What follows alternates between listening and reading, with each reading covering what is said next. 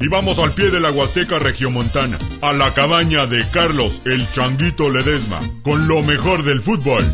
Hola amigo de Índigo, bienvenido una vez más a la cabaña de Carlos el Changuito Ledesma. Como bien sabes, en esta semana se juega la final del torneo de apertura del fútbol mexicano Atlante frente a Pumas. Bueno, en la cabaña decidimos consultar a los expertos y que nos den su opinión. Primeramente, vamos a ver qué nos dice Luis Enrique Rodríguez, editor general de la gente de Récord aquí en Monterrey, en la zona norte. Vamos a ver, Luis Enrique, Pumas o Atlante.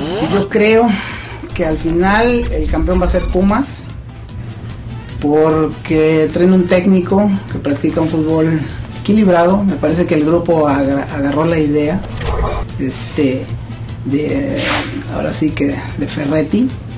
Y porque se conjugan varias cosas. Te platicaba ahorita que curiosamente en el 91 Tuca fue campeón con Pumas usando él el número 7. Él fue el artífice de aquel gol que, recordamos, ¿verdad? Adrián Chávez en la portería. Hace 10 años, en el 97, jugando contra todos los Mesa, él con Chivas como técnico fue campeón y hoy se repite 10 años después. Entonces, me parece que si jugamos un poquito con eso, Pumas va a ser campeón. Gracias a Luis Enrique. Muy cierto eso de los números 7 del Tuca, ¿eh? Parece ser que ahí tiene algo de suerte. Pero bueno, ahora vamos a salir de la cabaña. Vamos a ver qué nos dicen los jugadores. En este caso, los jugadores y presidente de los Tigres. A ver a quién ven para campeón ellos.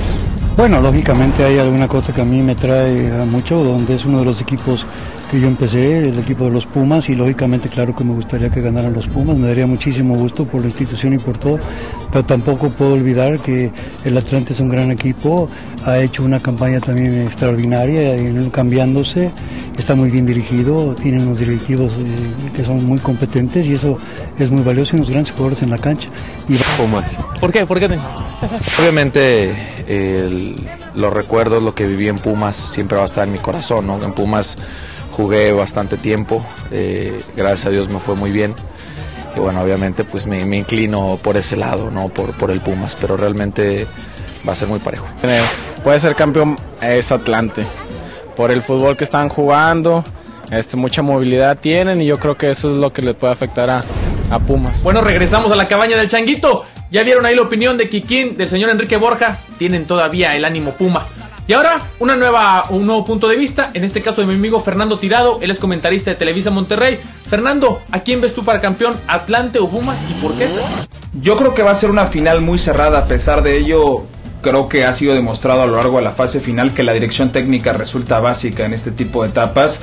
Ricardo Ferretti ha demostrado por qué es el tipo con más continuidad dirigiendo en el fútbol mexicano.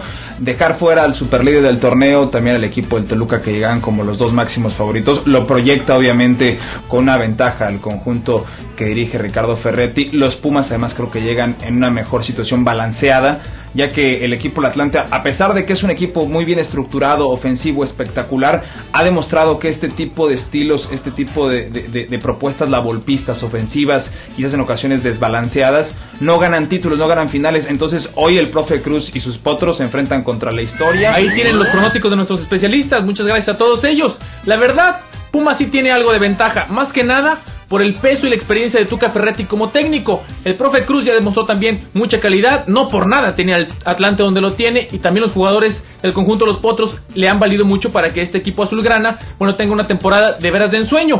Pero sí sabemos o sí creemos, tenemos la ese sentimiento de que Pumas puede quedarse con el título de este año. Se ve más equipo, más conjunto y esperemos ahí que el conjunto de los universitarios lancen el Goya y se queden con el título de la Apertura 2007. Con esto cerramos la cabaña del changuito. Quédate al pendiente, más adelante vamos a salir y entrevistar a más jugadores. Nos vemos pronto, quédate en Índigo.